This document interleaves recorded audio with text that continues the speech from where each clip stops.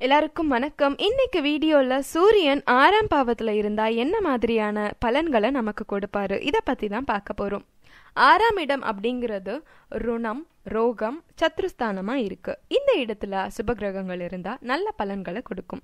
ஜாதகக்காரங்களோட எதிரிகள் வியாதிகள் நோய்கள் போராடக்கூடிய தன்மை தாய்மாமன் உறவுகள் வீட்டில் வளர்க்கக்கூடிய பிராணிகள் இது எல்லாத்தையும் குறிக்குது. பெரும் உணவுகளை சாப்பிட்றது இவங்களுக்கு பிடிச்ச விஷயமா இருக்கும். விதவிதமான உணவுகளை ரசிச்சு ருசிச்சு சாப்பிடுவாங்க.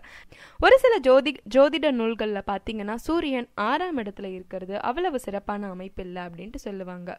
கூட்டு தொழில் இவங்களுக்கு நன்மையை உண்டாக்கும். சூரியன் நல்ல அமைப்பில் அசுபகிரக சேர்க்கையோட பார்வை இல்லாமல் இருந்தா ஜாதகக்காரங்களுக்கு வசதி வாய்ப்பு நிலம் எதிரிகளை வீழ்த்தக்கூடிய தன்மை அழகான உடல் அமைப்பு இது எல்லாமே இருக்கும். செவ்வாய் சுக்ரன் குரு போன்ற கிரகம் பார்வை இருந்துச்சுன்னா ஜாதகக்காரங்களுக்கு நல்ல உடல் அமைப்பு ஆரோக்கியமான தேகம் கூட இருக்கக்கூடிய பணியாளர்கள் மூலமா லாபம் வெற்றி உயர்வு தொழில முன்னேற்றம் எல்லாமே காண்பாங்க. இவங்களோட வேலை அப்படின்ட்டு வந்துருச்சுன்னா கொடுத்த வேலையை முழுமையா செஞ்சு முடிப்பாங்க. இவங்க செய்யக்கூடிய வேலை திறனை பார்த்து மற்றவங்க வியப்போட பார்ப்பாங்க.